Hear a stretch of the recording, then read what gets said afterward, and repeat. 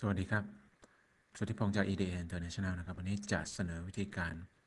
จำลองคอมพิวเตอร์ให้เป็นเครื่องช่าง แล้วส่งข้อมูลผ่าน Serial Port โดยที่ไม่มี Serial Port อยู่จริง จากนั้นใช้ SCADA อ่านค่าน้ำหนักนะฮะมานะครับ เราจะต้องใช้โปรแกรม 3 โปรแกรมนะครับ ดังต่อไปนี้นะครับ โปรแกรมแรกก็คือ โปรแกรมที่ใช้ในการ สร้างสัญญาณนะครับ สร้างสัญญาณเครื่องช่างออกไปทาง Serial Port ก็คือโปรแกรม COM Port Data Emulator เดี๋ยวผมจะใส่ลิงก์มาให้ในวิดีโอ description นะครับ ใครที่ดูจากมือถือเนี่ยก็ต้องเอเลื่อนขึ้นไปนะครับ เลื่อนลงมาขอไปครับ เลื่อนลงมาดูวิดีโอ description ยาวหน่อย แต่ใครดูผ่าน PC นะครับ บน YouTube ก็อยู่ใต้วิดีโอ description เลยนะครับ ทีนี้ ลิงก์หลังจากที่ดาวน์โหลดมาแล้วนะครับก็ติดตั้งลงไป แต่โปรแกรม Comport Data Emulator เนี่ย ถ้าเราไม่มี Serial Port อยู่จริงนะครับผมเขาก็จะฟ้องให้ให้ดาวน์โหลดตัว Virtual Comport นะครับซึ่ง Virtual Comport ที่ผมใช้ในวิดีโอเนี้ยนะครับ จะเป็นโปรแกรม Virtual Serial Port นะ ดี๋ยวเดี๋ยวผมจะแปะลิงก์ไว้ให้นะครับ เดี๋ยวผมจะแปะลิงก์ไว้ให้ ก็ในอาร์ติเคิลนี้นะครับ มันจะมีลิงก์ดาวน์โหลดอยู่ ซึ่งเดี๋ยวผมจะแปะไว้ในวิดีโอนะครับ ตัวเนี่ยครับ VSPE นะครับผม Virtual Serial Port Emulator นะครับ อันนี้ก็จะเป็นอีกโปรแกรมหนึ่งซึ่งจะจำลอง Serial Port ขึ้นมา โปรแกรมแรกเมื่อกี้ Comport Data Emulator เนี่ย อันนี้ไม่ได้จำลอง Serial Port นะครับ อันนี้ก็เป็นการสร้างสัญญาณออกไปทาง Serial Port สัญญาณที่เราสามารถกำหนดรูปแบบได้นะครับ เช่นจะให้มันเป็นค่าน้ำหนักของ Serial Port เอ่อค่าน้ำหนักของอุปเอ่อของวัตถุที่ช่างบนเครื่องช่างนะครับ แล้วก็ส่งค่าน้ำหนักเป็นกิโลกรัม หรือ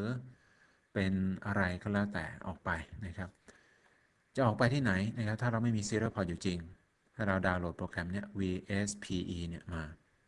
ตัวนี้มันจะสร้าง Virtual Comport ขึ้นมานะครับเอาละหลังจากที่ดาวน์โหลดทั้ง 2 ตัวมาแล้ว ติดตั้งลงไปแล้วนะครับ ก็มีโปรแกรมที่ 3 นะครับ ก็คือ Genesis 32 นะครับ SCADA เราจะใช้ Genesis 32 SCADA ในการอ่าน อ่านข้อมูลนะฮะเอามาโชว์เป็นแบบตัวเลขแบบนี้นะครับผม ทีนี้เวลาจะอ่านข้อมูล อย่างน้อยต้องมี OPC server คือ Yukon ใช่ไหมครับ ของ Capeware แต่ในที่นี้นะครับ ไม่จำเป็นต้องใช้ Yukon เราเขียนสคริปต์ง่าย ๆ นะครับ รับค่า เช่น อย่างตัวอย่างนี้นะครับ netcom จุด comport เท่ากับ 11 ก็คือ หมายเลขพอร์ตนะครับ comport อ่านค่าจาก comport หมายเลข 11 เข้ามา อย่างเงี้ยนะครับ ซึ่งทุกท่านไม่ต้องเขียนโปรแกรมเองนะ ผมมีตัวอย่างโปรแกรมให้ นะฮะก็จะใส่ลิงก์ไว้นะครับ ใส่ลิงก์ไว้ ทีนี้เมื่อเราดาวน์โหลดตัวไฟล์ตัวอย่าง GraphWorX มาแล้วนะครับ ถ้าใครที่ไม่มี Genesis 32 ไปดาวน์โหลด Genesis 32มาติดตั้งไว้ก่อนนะครับผม เวอร์ชัน9.4 ขึ้นไป ปัจจุบันเป็นเวอร์ชัน9.5 นะครับ หลังจากติดตั้ง Genesis 32 แล้วก็ดาวน์โหลดตัว NETComm OCX ตัวนี้ซึ่งเป็น ActiveX Control นะติดตั้งลงไปก่อน ถ้าไม่ติดตั้งเกิดอะไรขึ้น มันจะอ่านไม่ได้นะครับอ่าน Serial Port ไม่ได้ เพราะว่าสคริปต์ที่เราเขียนเนี่ยมันอ้างอิงถึง ActiveX Control ตัวนี้คือ Netcom OCX เนี่ยเพื่อใช้ในการอ่านข้อมูลผ่านพอร์ตที่เราระบุไว้นะครับ สรุปโปรแกรมที่เราจะต้องดาวน์โหลดก็จะมี 1. Com Port Data Emulator ดาวน์โหลดติดตั้งลงไปเลย VSPE ดาวน์โหลดติดตั้งลงไปเลย แล้วก็ Netcom OCX อันนี้ก็ดาวน์โหลดติดตั้งลงไปเลย Genesis 32 นะครับ ถ้าไม่มีก็ดาวน์โหลดติดตั้งลงไป แล้วก็ดาวน์โหลดไฟล์ตัวอย่าง ไฟล์นี้มาที่ใช้ในการอ่าน Serial Port นะครับ เอาละหลังจากดาวน์โหลดและติดตั้งลงไปแล้วนะครับ เราก็อ่านี่ผม delete ทิ้งไปก่อนนะครับ ตัวนี้นะครับ ตัวนี้คือ Virtual Serial Port Emulator ก็คือ VSPE ที่เราดาวน์โหลดมานั่นเอง ถ้าเราคลิกตรงนี้นะครับ Create New Device จากนั้นก็เลือกเป็น Pair Pair ก็คือเป็นคู่มีเป็นสายปลายเปิดนะครับผม อันนี้เป็น Virtual Port ที่ 1 อันนี้เป็น Virtual Port ที่ 2 นะครับ เป็นสายแบบนี้นะครับ จากนั้นเราก็เลือก next ต่อไป แล้วเลือกว่าเราจะสร้างคอมอะไร เช่น ผมสร้างคอม 10 กับคอม 11 คอม 10 เนี่ยไว้ทำอะไร ก็ไว้รับค่าจากตัว data emulator นะครับ เป็นน้ำหนักของอวัตถุนะฮะที่ส่งมาจากเครื่องช่างสมมตินะครับ จากนั้นคอม11 เอาไว้ทำอะไรนะครับ ก็เป็นอีกปลายหนึ่งของสายนะครับ อันนี้ก็จะใช้ SCADA มาอ่านคอม11เพราะนั้นคอม10 รับค่ามาจาก data emulator คอม11ส่งคอม11เนี่ยก็จะใช้ให้ SCADA มาอ่านนะครับ เพราะนี่เป็นต้นทางอันนี้เป็นปลายทางนะครับอ่า emulate baud rate ซะนะครับ จากนั้นก็ finish ก็จะสร้างขึ้นมาแล้ว จากนั้นก็ start นะ start ไว้เลย อันนี้โอเคแล้วนะครับ ทีนี้เปิดตัว data port เอ่อ com port data emulator นะครับขึ้นมา แล้วก็เลือกเป็น serial port นี่เราส่งออกไปที่ port com 10 เห็นไหมฮะ ส่งออกไปที่ port com 10 เพราะนั้นอีกปลายหนึ่งก็คือ com 11เนี่ยเอา SCADA มาอ่าน เอา SCADA มาอ่านจาก com 10 ไปเลยไม่ได้เหรอ ไม่ได้ครับ com port เนี่ยถูกใช้ไปด้วยโปรแกรมไหนแล้ว โปรแกรมอื่นเนี่ยจะใช้งานไม่ได้ เพราะนั้นต้องสร้างเป็นแพรแบบนี้นะครับ จากนั้นเราก็เลือก data source นะครับใส่น้ำหนักลงไป หรือจะเลือกเป็น random ก็ได้นะครับ random random text เนี่ย ซึ่งมันก็จะได้ค่าออกมาเป็นค่า random แต่ไม่มีหน่วยเป็นกิโลกรัม เพราะนั้นถ้าเราต้องการหน่วยเป็นกิโลกรัมนะครับ เราเลือกเป็นแบบ text string แล้วก็พิมพ์เข้าไปเลยนะพิมพ์เข้าไปเลย เว้นบรรทัดด้วยนะครับนะใส่เข้าไปพิมพ์เข้าไปเองเลยนะครับ กิโลกรัมหรือปอนหรืออะไรก็แล้วแต่นะครับ จากนั้นก็เลือกเป็น repeat mode นะครับ data block size อันนี้สำคัญฟิกไว้ที่ 1 บล็อกนะครับ มันจะอ่านทีทีทีละ 1 บรรทัดนั่นเองนะครับผม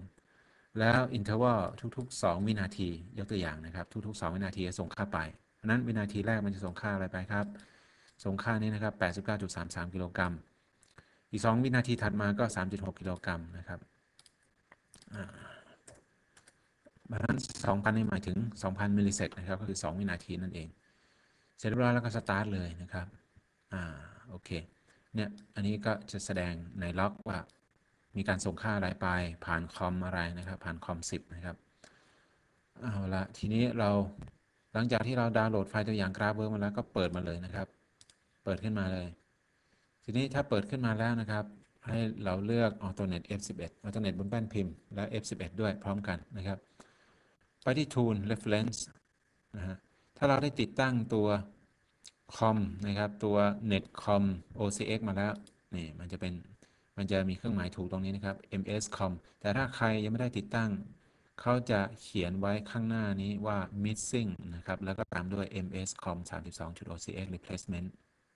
เพราะนั้นถ้าเราไม่ใช่ missing ก็คือถูกต้องแล้วเราได้ติดตั้งตัว ocx ตัวนั้นไปแล้วนะครับทีนี้เราก็กลับมาที่หน้ากราฟิกของเรานะครับ แล้วก็ run เดี๋ยวเดี๋ยวก่อนที่จะ run นะครับ ผมอธิบายโค้ดนิดนึง กลับไปที่ alternate f11 แป๊บหนึ่งนะครับ จะเห็นว่าตรงนี้นะครับ com port ที่อ่านค่าคือ com port 11 มีเท่านี้นะครับ โค้ดของผมมีเท่านี้สั้นมากนะครับ จากนั้นก็เอาค่าที่อ่านได้ไปใส่ไว้ใน OPC tag อ่า OPC tag ที่อยู่ใน OPC server ก็คือ iconic จุด simulator จุดหนึ่งอันนี้เป็นชื่อ OPC server จากนั้นอันนี้ก็เป็นชื่อโฟลเดอร์โฟลเดอร์ย่อย แล้วก็ชื่อแท็กนะครับอ่าอันนี้มันจะเป็น OPC Simulator ที่ติดมาพร้อมกับ Genesis 32 เลย ใครที่ไม่มีความรู้ตรงนี้ไปหาดูวิดีโอเองได้นะครับ ว่าวิธีการใช้งานตัว OPC Simulator เป็นยังไง เราก็แค่ browse มานะครับ มันจะมีชื่อมาให้นะครับ browse ตรงไหนนะครับ browse ตรงนี้ก็ได้นะอันนี้เป็น process point เนี่ย browse ตรงนี้เลย แล้วก็ copy พวกนี้มานะ copy ตรงนี้มาเมื่อกี้ลืมแสดงวิธีการ browse browse ก็คือกดปุ่ม data tag ตรงนี้นะครับ แล้วมันก็ browse หา tag ที่เราสามารถอ่านเขียนค่าได้นะฮะเนี่ย OPC Simulator นะครับผม จากนั้นเราก็ copy ตรงนี้มา copy ตรงนี้มาทั้งหมดเลย copy มา แล้วก็เอามาวางในโค้ด VBA ของเราตรงนี้นะครับ ใส่ไว้ตรงนี้เลย วางไว้ตรงนี้นะครับ ก็จะเป็นการรับค่าจาก com port 11 แล้วก็ส่งให้ OPC tag ตัวนี้นะครับ จากนั้นเราก็เอาค่า OPC tag มาดูในนี้นะครับ